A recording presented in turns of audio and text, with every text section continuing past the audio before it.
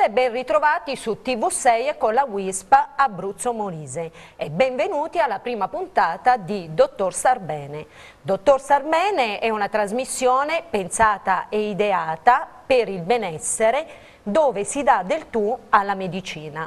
La produzione di questa trasmissione è della WISP Abruzzo Molise, ente di promozione sportiva che ha tra le sue mission anche la eh, tutela, la, eh, il promuovere e il favorire la cura della persona, il benessere psicofisico della persona nella sua interezza. Insieme a me qui in studio c'è e ci sarà per tutto il corso delle puntate di questa trasmissione il dottor Alessandro La Barba. Buonasera, buonasera a tutti quanti voi. Ciao. Ben arrivato Grazie Alessandro, mille. dottore farmacista che non solo mi affiancherà nella conduzione di questa trasmissione avendo lui una formazione trasversale rispetto a tutte le specialità che eh, avranno poi gli ospiti che saranno in collegamento con noi ma che curerà anche una piccola rubrica davvero molto interessante. Vengo subito a presentarvi l'ospite di questa nostra prima puntata e che fa gli onori di casa ed è il dottor Paolo Noccioli, chirurgo senologo presso l'ospedale Bernabeo di eh, Ortona. Ben arrivato dottore. Buonasera, grazie. Buonasera, dall'invito. Sentiamo leggermente basso, se può alzare un pochino la voce. Sì, come no, certo, dicevo buonasera e grazie dell'invito.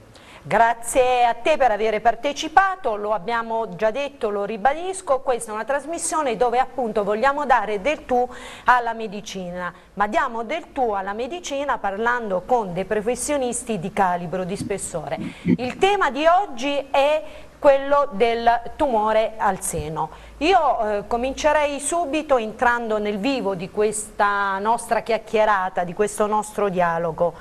Dottore, volevo chiederti innanzitutto, eh, farti una domanda che un po' eh, diciamo, ci poniamo tutti, come si è modificato, se si è modificato il quadro evolutivo del tumore al seno in relazione al fattore dell'età, al fattore del genere e anche in relazione a fattori eh, sociali, climatico e ambientali. Sì, ehm, io mi rifaccio un po' a quello che eh, disse il professor Umberto Veronesi tem tanto tempo fa, eh, dicendo che non è che il tumore mammario non esistesse negli anni 20, negli anni 30, negli anni 40. Forse non si scopriva così precocemente come si scopre adesso, quindi in realtà è vero che c'è un aumento dell'incidenza di insorgenza del tumore mammario, mm, ma è anche vero che le, eh, la tecnologia e i passi avanti che ha fatto la medicina nella fase preventiva e diagnostica ha consentito sicuramente una scoperta eh, sicuramente più precoce.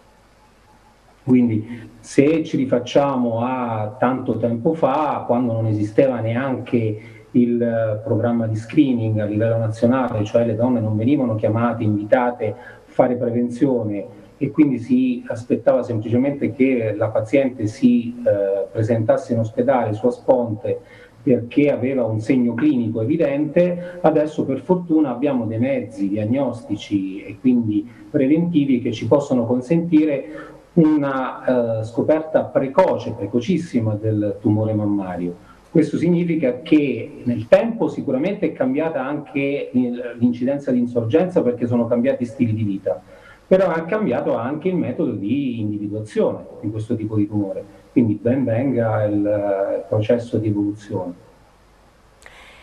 E, senti, ma in relazione per esempio all'età, se non mi sbaglio leggevo che si è abbassata notevolmente la fascia d'età in cui sarebbe opportuno e necessario fare non solo prevenzione ma cominciare a fare già i primi screening. Cioè prima questo era un tumore che in un qualche modo riguardava la donna matura, ora sembra che ci sia anche una fase pre-maturità in cui può insorgere. Assolutamente sì, cioè nel senso io do dei, dei dati nudi e crudi. Eh, il tumore più frequentemente diagnosticato tra le donne è eh, dai 0 a 49 anni del 40%, dai 50 a 69 del 35% e più di 70 anni il 22%. Quindi che significa che c'è una possibilità di ammalare di tumore mammario fino ai 49 anni del 2,3%, cioè una donna su 43. Um, cosiddetto sembrerebbe poco, ma in realtà eh, è vero il fatto che eh, nelle donne premenopausa c'è adesso una maggiore insorgenza di eh, tumore mammario.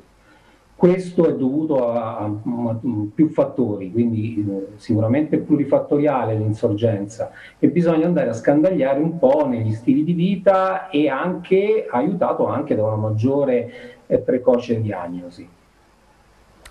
Allora, abbiamo parlato tantissimo di prevenzione, infatti abbiamo appena ascoltato questi dati e ehm, diciamo che la prevenzione in realtà è un'anticipazione in termini temporali di una particolare attenzione a sé, quindi sotto il profilo poi di, diciamo, di quelle che sono le ricerche, gli screening, le diagnosi varie eccetera. Però questo è un anno particolare dove noi abbiamo avuto e stiamo ancora vivendo un cosiddetto tempo sospeso. Allora parliamo di prevenzione, mi ehm, sovviene il, il pensiero ma anche il dubbio quanto è stato possibile in questo anno di tempo sospeso fare la lotta contro il tempo e quindi fare prevenzione e come anche voi medici avete gestito o potuto gestire che sono, quella che era proprio la tempistica, perché ovviamente con il Covid bisognava prendere degli appuntamenti, probabilmente non c'era neanche tanto tempo, tanto spazio presso le strutture ospedaliere. Insomma, questa prevenzione quest'anno si è fatta e se si è fatta, come si è fatta? Allora, um, io posso parlare della nostra realtà. Uh, sicuramente c'è stato un rallentamento eh, nella fase del lockdown um, sono state sospese alcune attività momentaneamente, per fortuna per breve tempo. Purtroppo io quello che dico sempre è che il tumore eh, non viene fermato dal Covid, mm, non mi interessa che ci sia virus, più virus, meno virus, il tumore va avanti. Noi per fortuna nella nostra realtà eh, a Ortona, nel nostro centro di riferimento regionale, per fortuna abbiamo assicurato comunque una linea ehm, diciamo di, di, di preferenziale perché abbiamo un contatto diretto con i pazienti sia telefonico sia tramite fax, tramite email, comunque le varie forme di eh, forme mediatiche per cui alla fine riusciamo bene o male a eh, far fronte alle varie richieste. Sicuramente un rallentamento dovuto alla chiusura del centro di prenotazioni uniche, dovuto alla chiusura comunque al rallentamento delle eh, visite, delle prestazioni ambulatoriali, degli interventi chirurgici dovuti a comunque delle motivazioni prettamente tecniche di sanificazione, di controllo del personale medico, paramedico, infermieristico, eh, erano dovute, quindi alla fine si è fatto quel che si è potuto. Temo purtroppo che, e ho avuto conferma in, negli ultimi tempi, negli ultime, nelle ultime settimane, che eh, non parlo tanto della prevenzione, quindi del fatto della, eh, del tumore piccolo di 3, 4, 5 mm, ma delle situazioni cliniche eh, loco regionalmente avanzate abbiano avuto un rallentamento nella loro evoluzione di eh, diagnostica e quindi anche fase terapeutica. Sicuramente sono stati dei casi in cui poi si sono presentate donne giovani eh, che hanno eh, rilevato la presenza di alterazioni cellulari e quindi di formazioni nodulari sospette. Speriamo di poter far fronte nel miglior modo possibile e di cercare di evitare rallentamenti di questo genere. Cercheremo di fare noi dal nostro piccolo, dalla nostra realtà, di fare quello che è possibile. Insomma. Certo. Senti Alessandro, io so che tu hai una domanda diciamo profonda, complicata, arzigogolata per il nostro amico dottore, che fagliela tu. Dottore, io volevo chiederle, eh, laddove la chemioterapia e la radioterapia non dovessero andare a buon fine e si dovesse ricorrere a una mastectomia, quindi a un'eliminazione parziale o totale eh, del seno, si può sempre ricorrere alla mastoplastica additiva e se nel caso in cui ci si dovesse ricorrere si aumentano i rischi di recidiva o no? Allora, la risposta come sempre in medicina non è sì o no, bianco o nero, diciamo che ni, eh, nel senso che eh, la radioterapia comunque è post-operatoria, non è mai preoperatoria, quindi parliamo di chemioterapia. Eh, la, la, mastectomia può essere effettuata quasi sempre, tranne dei casi in cui c'è un'inoperabilità iniziale, quindi si ricorre a una chemioterapia. Se la chemioterapia non dovesse eh, fare il suo esito, si può ricorrere a una cosiddetta mastectomia di salvataggio, facendo dei lembi dorsali o lembi del trama addominali e i rischi di recidiva per quanto riguarda una mastectomia in realtà dipende dalla situazione di partenza nel senso che se è una situazione in cui la chemioterapia o l'ormonoterapia neoadiuvante ha fatto un buon lavoro, sicuramente è difficile che ci possa essere una ripresa della patologia da un punto di vista regionale.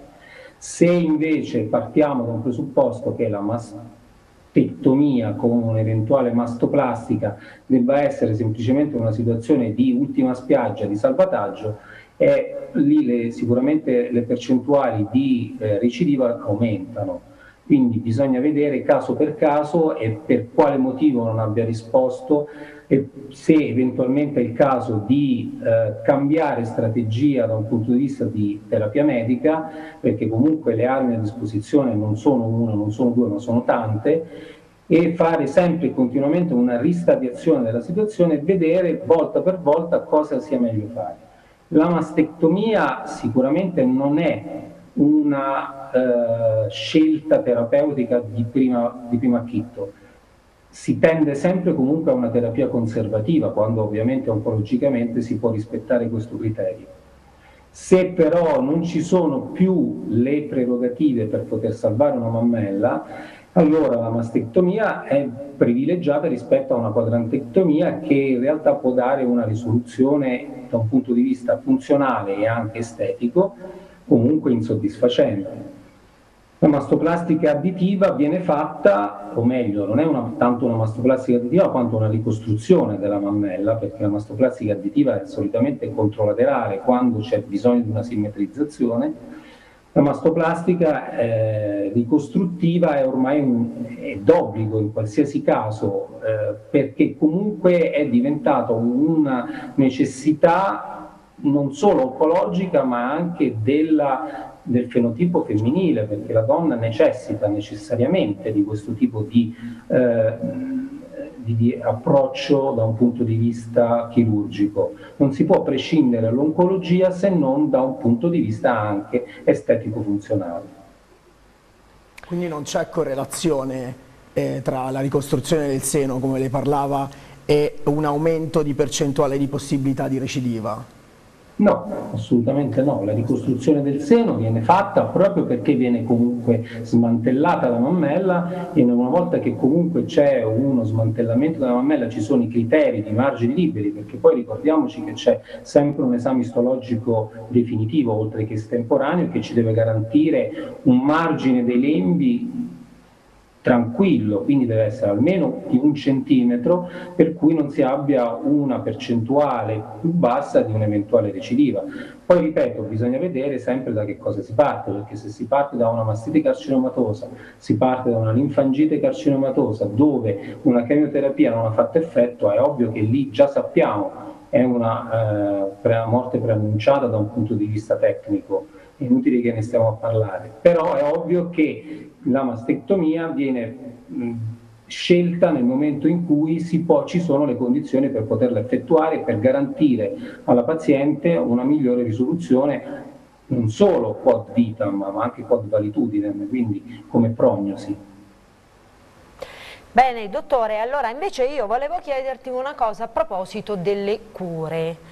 Le cure tradizionali che conosciamo, insomma, che sentiamo dire per questo tipo di tumore sono la radioterapia, la chemioterapia, non saranno solo queste, però ultimamente si sente parlare tantissimo di anticorpi monoclonali. Ne parlano come eh, diciamo, possibilità di approfondimento dello studio per il Covid, però è anche vero che eh, questo tipo di anticorpi sono stati utilizzati per alcune forme di tumore, non, immagino non per il tumore al seno, però per alcune forme di tumore. Ora, secondo lei, poiché le ricerche, gli approfondimenti continuano, questo tipo di anticorpi potrebbero essere utilizzati o c'è una minima possibilità che possano eh, concorrere ad aiutare o a porsi all'atere rispetto ad altre forme di cure che sono molto pesanti come cure? Eh, l'immunoterapia già esiste per il tumore mammario, non è una scoperta, eh, esiste la chemioterapia, esiste la radioterapia, ma esiste anche l'immunoterapia. Attenzione, nel momento in cui noi facciamo una diagnosi di una eh, neoplasia mammaria, abbiamo una carta d'identità. La carta d'identità ci dice se il tumore è ormonoresponsivo oppure no oppure un, eh, ha un antigene espresso che è l'ERV2 cosiddetto e che appunto serve per un'immunoterapia, quindi l'immunoterapia già esiste per il tumore mammario ed è molto molto efficace, soprattutto nei tumori cosiddetti, triplo negativi, dove eh, non c'è un'espressione estrogenica, non c'è un'espressione progestinica, ma c'è un'espressione eh, dell'ERB2, allora lì non sono triplo negativi ma sono ERB2 eh, overexpressing e allora si può utilizzare l'immunoterapia. Quindi eh, nei tripli negativi si userà una chemioterapia, nell'ERB2 eh, espressi si userà un'immunoterapia, nel recettori ormonali espressi un'ormonoterapia. Quindi c'è un buon arco di eh, armi a disposizione per cui si possono utilizzare, perché no? Assolutamente sì. Dottore, ma l'immunoterapia, come giustamente stavi dicendo, già si usa e dà dei buoni risultati, ma qual è il momento in cui si riesce a utilizzarlo? Cioè, mi spiego meglio, ci piacerebbe poter eh, sapere o ci piacerebbe poter scoprire se c'è una forma di prevenzione non solo nella scoperta dell'esistenza del tumore ma addirittura nella contrazione dello stesso tumore. Allora, contrazione del tumore eh, momentaneamente lo si può sapere da un punto di vista genetico, cioè fare una mappatura genetica per sapere se è, si è BRCA1, BRCA2 mutati? Sicuramente sì. Sapere se c'è una predisposizione, quindi ereditaria? Assolutamente sì. Sapere se si è ERB2 o uh, monoresponsivi o triplo negativi in questo momento no. Bene. Allora, Alessandro, dottore, noi ora eh, presentiamo e guarderemo quella che è la rubrica di cui si occupa il nostro dottor La Barba, rubrica che si chiama la Wix Fake e di cui, prima di lanciarla, dici in, con una sola battuta in che cosa consiste? Notizie false, notizie false del mondo della salute. Andremo a analizzare quelle che sono eh, le famose bufale, eh, che si trovano su articoli, giornali, social eh, che deviano quello che è poi l'attenzione la, da, dalle notizie importanti del mondo della salute. E un breve cenno di storia, quando si pensa alle fake news si pensa sempre ai social, una cosa moderna, una cosa nuova, in realtà le fake news sul mondo della salute esistono da sempre. Lo stesso Filippo IV, eh, re di Spagna, riportato da Manzoni, diede colpa eh, della peste a dei personaggi che spargevano degli unguenti infettanti su Milano, da lì il famoso termine untori nel, nel per tramandare la peste, cosa sappiamo assolutamente non, non vera. Quindi diciamo che appartiene un po' alla storia dell'umanità. Le prenderemo in considerazione da un punto di vista scientifico e cercheremo di smontarle. Va bene, allora io dico semplicemente guardiamo la tua rubrica.